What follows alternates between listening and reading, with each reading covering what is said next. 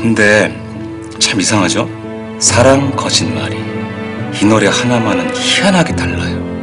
전통적인 창법을 가요에 접목시킨 것도 그렇고 지독하게 저절한 게 그렇게 좋은 걸 그땐 왜 몰랐을까요?